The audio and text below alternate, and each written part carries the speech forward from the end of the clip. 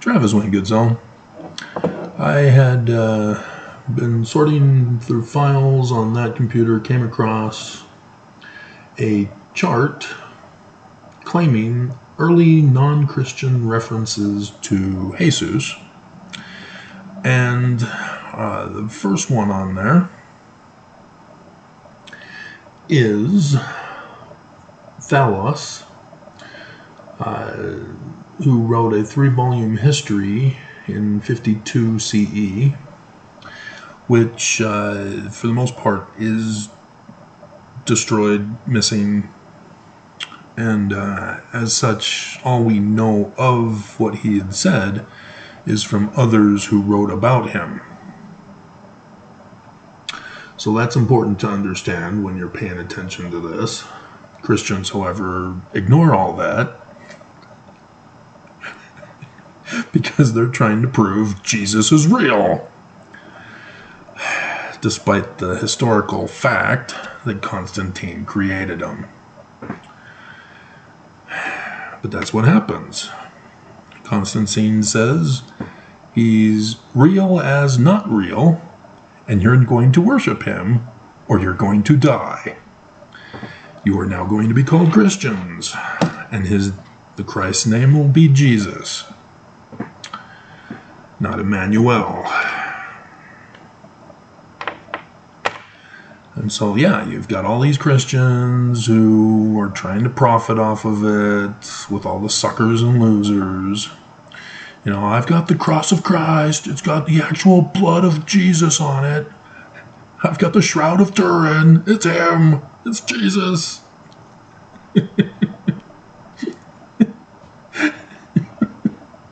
Everybody is conning other people who are gullible enough to deny science, deny history, deny facts and evidence. Truth, in other words. And, uh, and so, yeah, there are numerous accounts of Christians getting scammed because of what Constantine did. And uh, it still continues to this day with over a thousand different organizations and who knows how many millions of individuals who believe but don't believe in organized religion. And the Church of Jesus Christ of Latter day Saints are one of those suckers and losers conning their members. Sorry, Mormons. You can get mad at me all you want but you're denying Joseph Smith. He told you Christianity isn't true and that Jesus is an abomination. You're the one who chose not to believe him. Don't get mad at me for it. But uh, the key thing that you can fact check these people and put them in their place if they would pull out of their spiritual witness bubbles. You need to pop them bring them back to reality, is that he claims that there was a solar eclipse that occurred at a crucifixion. Now, Thallus never claims the name Jesus Christ from the reporting. Uh, Eusebius is the one who uh, mainly put in Jesus Christ in his chronicle, and claims that it happened in 32 CE. And no. Why do we know this? Multiple reasons. One, we go to the Hebrew calendar because it's during Passover. And why can a solar eclipse never, ever, ever ever, ever, ever happen during Passover. Give you a hint, it requires the science knowledge of astronomy. Solar eclipses happen during new moons, not full moons, for Passover. Thus, no solar eclipse for Passovers. Can't happen. And so then, according to your spiritual witness bubble, you create a supernatural deity who can do whatever he wants. no, it happened. It's real. God can do anything. do you see the damage Constantine caused? Homoousion. That was the word he created, and it means, in translation, not real. Dear God. And so, yeah, the second method is to go to the NASA's solar uh, eclipse listing for 32 CE, and we have four that occurred that year. And uh, we have the first one that occurred on the 29th of March, and the second one on the 28th of April. So that's one after the one month after the other on that one. And uh, penumbral and then partial for April and September 23rd. Wow. Penumbral. If you're not following me, I'm not repeating every single bit of information that is in my head for you in every single video. It would take weeks upon months to give you all my information so that I can then do a new video for you. You have to follow me and at least have a basic knowledge of what I'm talking about. When I talk to you about astronomy, you need to know astronomy. You can't be ignorant of astronomy. When I talk about Joseph Smith and the first vision, you can't be ignorant of Joseph Smith and the first vision. You have to know that. You have to know verse 19 where he says the word abomination. You have to know what a creed is, therefore. That's on you, it's not on me. And then October 22nd, 23rd, because there's 30 days in September. And uh, that's a partial. So it's switched off. Penumbral partial, penumbral partial. And so uh, none of those work either because they have locations on Earth. See, solar eclipses don't just happen on a certain date and time, they also happen at a certain place on Earth, as the shadow is cast on Earth at a specific location. And it is never in the same location, ever. Because of the wobble of the Earth, and the rotation of the Earth, and the the rotation around the sun and uh, the moon with its 29.4 day rotation around the earth. It's impossible to have the same solar eclipse occur on the same place on the earth. So that's important to know. And so uh, the one on the 29th of March was at uh, 61 south long- longitude. Yeah, and then 39 west latitude. Am I getting that right? and then uh, 62 north uh, longitude, 40 west latitude for April and September's. Because September 23rd, you're supposed to be following me. You're supposed to know. Do you remember the 21st night, September? Love was chasing our minds. Yeah, Revelation chapter 12. The Smiths make a change that's kind of key and crucial that shows they know about the day and hour of his coming in the latter days. Yeah, 23rd September 2017. John the Revelator gives us that star date. Did the video yesterday and nobody cared. And so if you're not going to watch, it's on you. If you come to one video, as I had a comment this morning, who was confused about the Danites and how Nelson was using the name of the Danites for the name of the church. There are certain Mormonism topics all Mormons must know. You cannot deny them so that you can get away with your spiritual witness bubble. Joseph Smith never, ever, ever, ever, ever, ever, ever called his church the Church of Jesus Christ of Latter day Saints. It would be an abomination for Joseph Smith to call Jesus and in the name of his church because he calls Jesus the abominable Christ. Verse 19. Now you're supposed to know this. This shouldn't be confusing to you, especially if you've gone on a mission.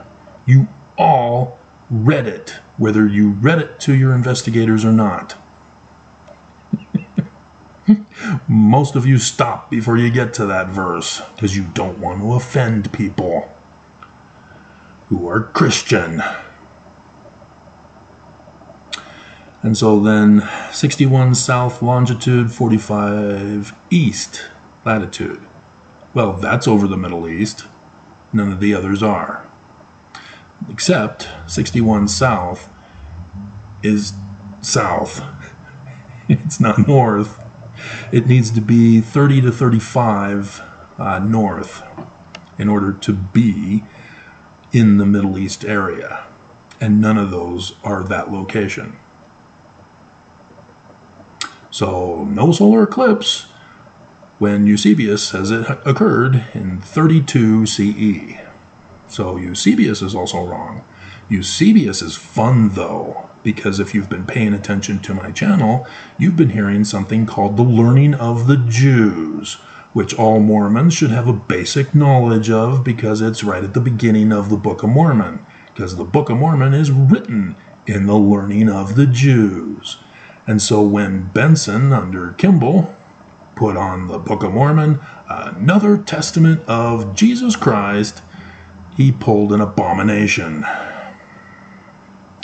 And which church pulls abominations having Jesus, the abominable Christ? Why, none other than the great and abominable church. And so please just stop. You have no argument to defend this church as Joseph's. Quit lying. Quit deceiving. Quit gaslighting. Quit showing that you're ignorant, that you haven't done your study, you haven't done your research, that you've failed English and English grammar and comprehension. Quit humiliating yourself with an abusive comment. Just stop. This church isn't true. This church is evil. This church murdered Joseph Smith. It is not his church.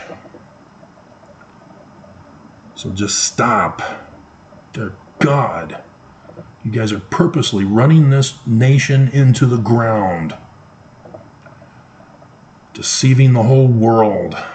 And now that you know that President Russell M. Nelson is the false prophet of the great and abominable church, who's a white supremacist, guess what happened last Thursday?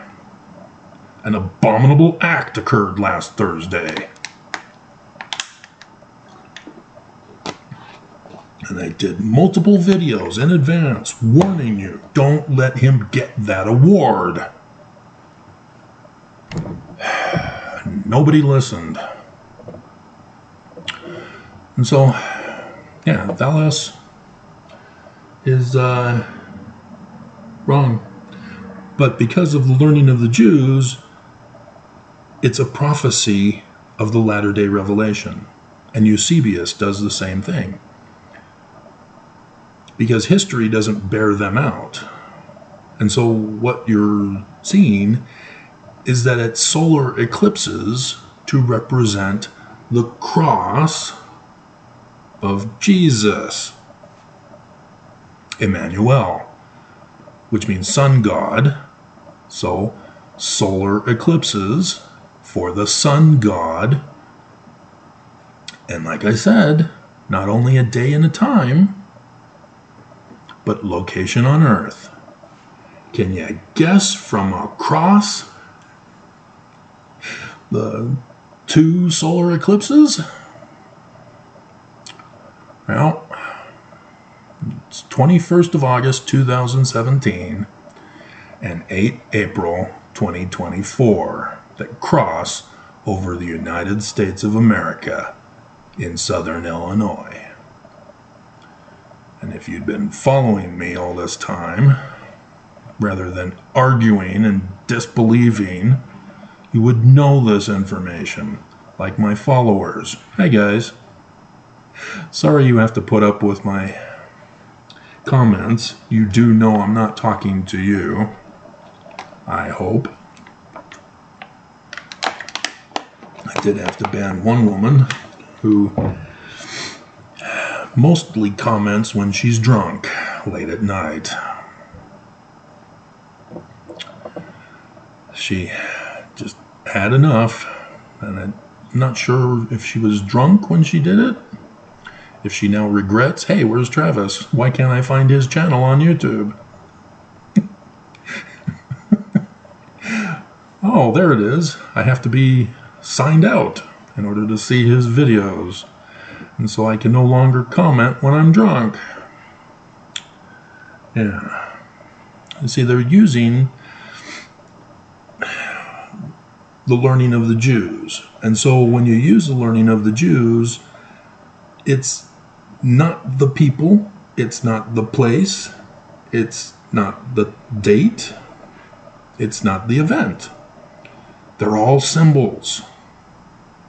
And so in the Gospels, which are books of Revelation instead, it's not Jesus, it's not Jerusalem, it's not the Jerusalem temple, it's not whatever date you create, and they never give a date other than Passover. Is how you can tell when Jewish festivals and feasts occur. You can sort of get an idea of when during a year it occurs, but you don't know the year. They don't tell you. That's a specific, specific reason. I'm not saying that three times fast. and uh, and so they're all symbolic. And so with Jesus, you have to replace him with Emmanuel. And now that we know that it's America, you replace Jerusalem and Judea with America. The Jerusalem Temple. Ah, this is tricky. It's the Great and Abominable Church. So, which church is the Great and Abominable Church in America? Give you a hint. It has the name Jesus in it. Not complicated, Mormons. that is weird, yeah. That Joseph Smith could actually be a prophet? I thought he just made stuff up.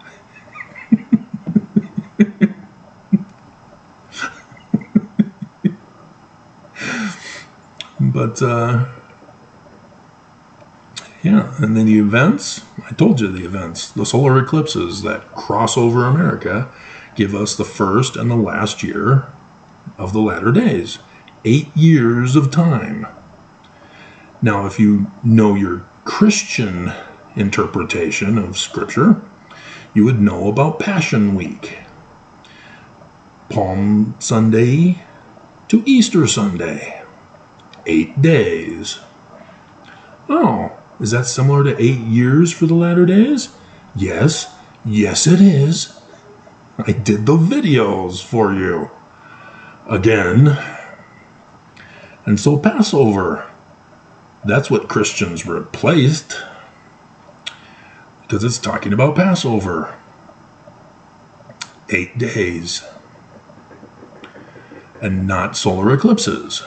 But the story makes sure that you know that it has to do with the eight years and the span of the eight year dates of the solar eclipses, and thus three days of darkness, or three hours of darkness on the cross.